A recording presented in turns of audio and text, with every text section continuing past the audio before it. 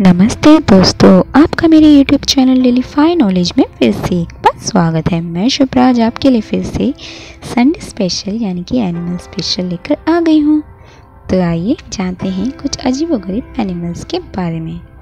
पहला, दोस्तों, क्या आप पैरो स्रोफेमिनस सपा के बारे में जानते हैं, जिसका अर्थ है बगल और सामान्य?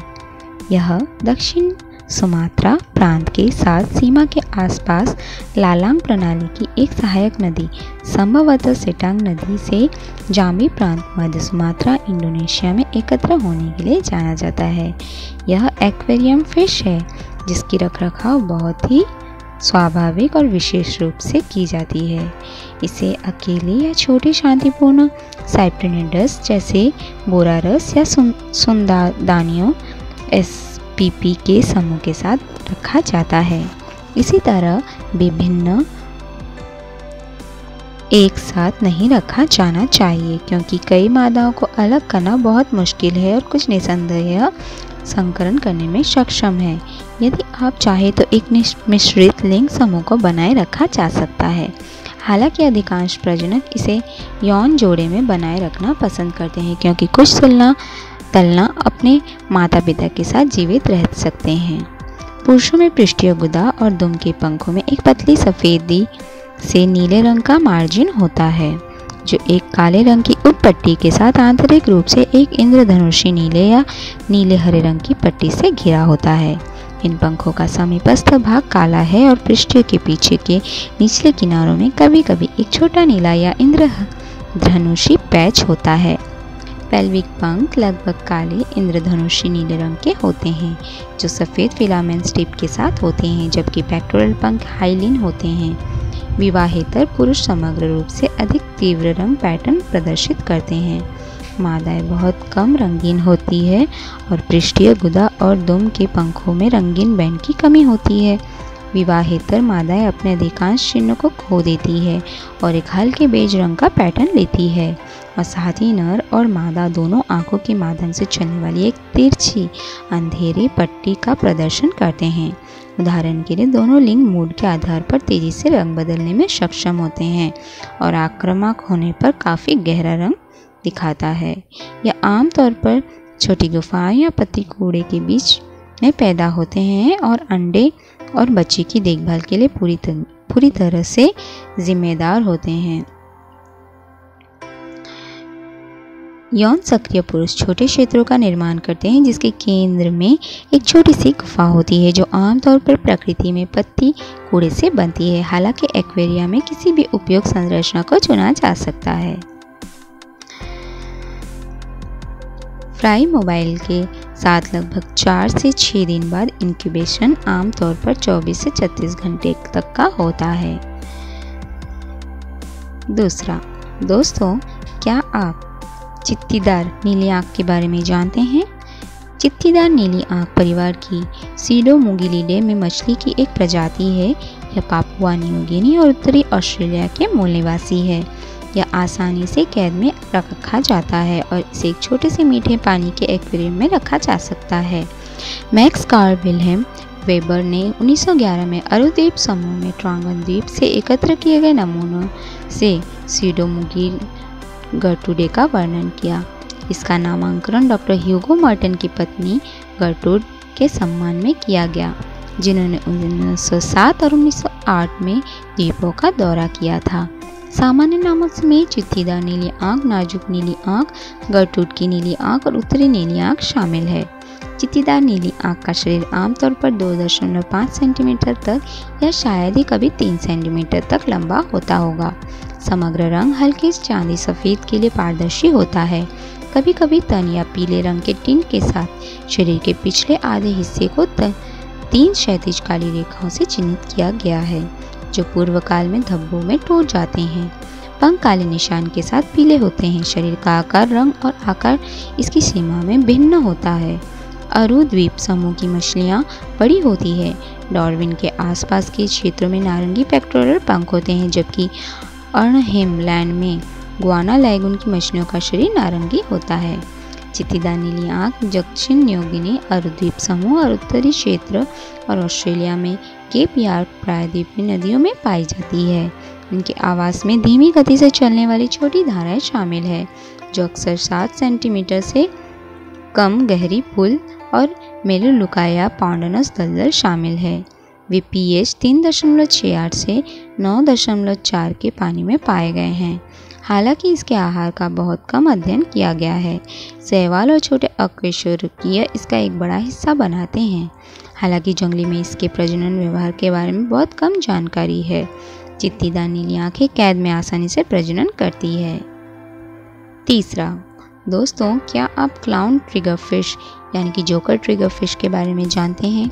जिसे बिग स्पॉटेड ट्रिगर फ़िश के रूप में जाना जाता है। बालिस्टिडे परिवार से संबंधित एक तलहटी समुद्री मछली है। यह आमतौर पर ट्रिगर फ़िश कहा जाता है। यह मछ, यह ट्रिगर फ़िश एक मछली है जो 50 सेंटीमीटर तक बढ़ सकती है। इसके शरीर में एक स्टॉकी उपस्थित ती, अंडाकार आकार और बाद में संकुचित होता है। सिर बड़ा है और शरीर की लंबाई के लगभग एक तिहाई का प्रतिनिधित्व करता है। मुँह छोटा टर्मिनल और मज़बूत दांत होते हैं। पहला पृष्ठीय पंख तीन रीढ़ों से बना होता है, जिनमें से एक लंबा और मज़बूत होता है। यह सीधा है और एक पृष्ठीय खांचे में छिपा हुआ है। पृष्ठीय रीढ़ के इस सेट ने एक ट्रिगर प्रणाली की रचना की, जो कि परिवार बलिस्टिडी से एक विशेषता है। दूसरा पृष्ठीय पंख आकार और आकार में गुदाफिन के समान है, जो सममित रूप से इसके विपरीत है। पेल्विक पंख एक उदर फलाव में कम हो जाता है। पृष्ठभूमि का रंग काला है। शरीर के आधे निचले हिस्से पर बड़े सफ़ेद धब्बे होते हैं, जो कमोबेश गोल होते हैं।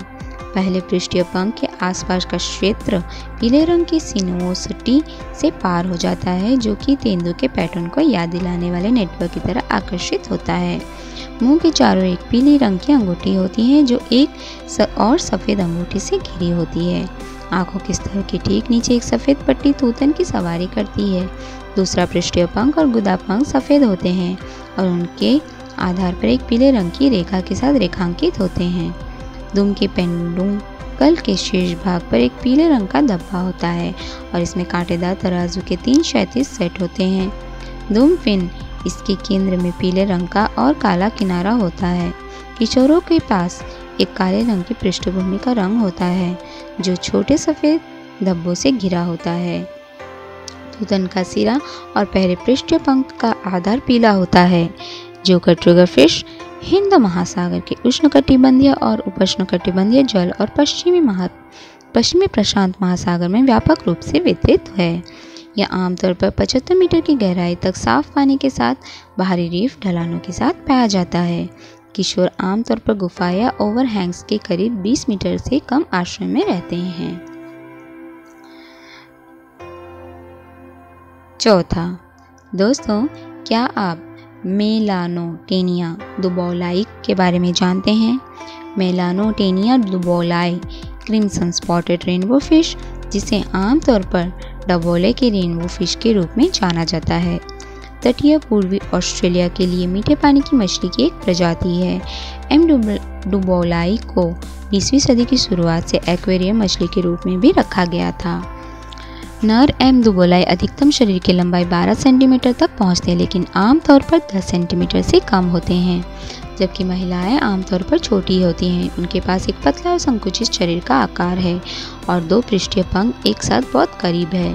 पहला दूसरे से बहुत छोटा है उनके पंख का रंग स्पष्ट से पीले से लाल तक भिन्न होता है, जिसमें लाल धब्बे और गहरे किनारे होते हैं, जो स्पॉनिंग गतिविधियों के दौरान पुरुषों में तीव्र रूप से काले हो जाते हैं। बड़े नर मादाओं से उनके चमकीले रंगों से अलग होते हैं और दूसरे पृष्ठी और गुदा पंखों में पश्चिम किनारे के बढ़ाव से पहचाने जा सकते हैं। मादाओं में गोल पृष्ठीय और गुदा पंख होते हैं, जो छोटे होते हैं और गहरे किनारों की कमी होती है। लाल रंग एक प्रमुख स्थान पर देखा जा सकता है। संचालन आमतौर पर शरीर, गहरे नीले या पीले रंग के टन के माध्यम से चांदी, नीला या हरा होता है। स्केल पंक्तियों को संकीर्ण, पीली रेखाओं के साथ चिन्हित किया जाता है और नारंगी से शानदार लाल तक मढ़ा जाता है। वे एक विस्तृत भौगोलिक सीमा में काफ़ी रंग भिन्नता प्रदर्शित करते हैं। यह सर्वाहारी है और उनके आहार में सभी प्रकार के खाद्य पदार्थ शामिल है। विशेष रूप से अकशेरुकी और सहवाल और कैद में वे परतदार भोजन खाते हैं। वे खुले पानी को पसंद करते हैं और जलमग्न लॉग और उपसतह वनस्पति के आसपास छोटे समूह बना सकते हैं। ब्रिस्बेन में आम बैंडेड मच्छर के लार्वा का सेवन करने पर शुरू की गई पूर्वी मच्छर मछली के साथ छह देशी मछली प्रजातियों की तुलना करने वाले एक नियंत्रित अध्ययन में पाया गया कि क्रिम्सन स्पॉटेड रेनबो फ़िश ने अन्य सभी प्रजातियों की तुलना में अधिक मच्छरों के लार्वा खाए। परीक्षण किया गया है और मच्छर नियंत्रण के लिए एक अच्छा उम्मीदवार उम्मीदवार भी चुना। पांचवा, दोस्तों, क्या आप मधुकोश गाय मछली के बारे में जानते हैं? मधुकोश काउफिश परिवार ऑस्ट्राडिसाई से संबंधित है। इसे केवल ट्रंक फ़िश या काउफिश के रूप में जाना जाता है। मधुकोश काउफिश के शरीर के अधिकांश हिस्से को कवर करने वाले कवच की तरह हेक्सागोनल तराजू होते हैं। इसके नाम, इसके अद्वितीय मधुकोश जैसे पैटर्न और सिंह के लिए रखा गया है। यह पैटर्न मछली को प्रवाल भित्तियों के साथ घुलने मिलने में मदद करता है। अधिकांश मधुकोश काउफिश का रंग नीला होता है, लेकिन यह पीला ग्रे या हरा भी हो सकता है। किशोर आमतौर पर वयस्कों की तुलना में अधिक रंगीन होते हैं। उनके पास कोई पैल्विक पंख नहीं होते हैं और दुम का पंख गोल होता है। हनीकॉम गाय फ़िश में कई संशोधित बोनी तराजू और शिंग है। ये सुरक्षा के साधन के रूप में काम करते हैं। हनीकॉम काउ फ़िश को उनकी आँखों के ऊपर दो रीढ़ और हेक्सागोनल पैटर्न द्वारा समान मछली से अलग किया जा सकता है।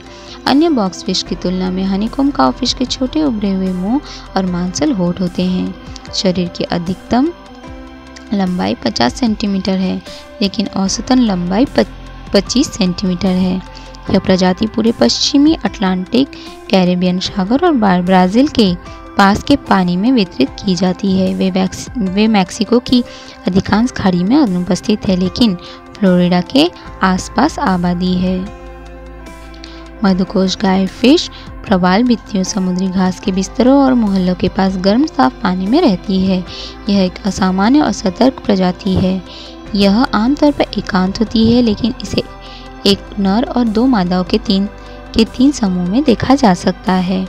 उनके प्रजनन के बारे में बहुत कम जानकारी है, लेकिन वे खुले पानी में संभोग करने के लिए जाने जाते हैं। उन्हें जोड़े में सतह पर तैरते हुए, अपने युग्मकों को मुक्त करते हुए और जल्दी से वापस नीचे तैरते हुए देखा गया है। खुद को शिकार से बचने के लिए हनीकोम काउफिश में रंग बदलने की क्षमता है। एक बार छलावरण के बाद मछली लंबे समय तक स्थिर रह सकती है। किशोरों में उनके गोल शरीर के कारण वयस्क की तुलना में बेहतर तैराकी क्षमता होती है।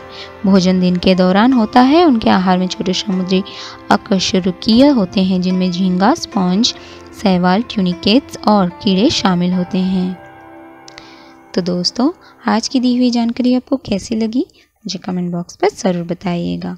और मेरे इस वीडियो को लाइक शेयर सब्सक्राइब करना ना भूलिए। Thank you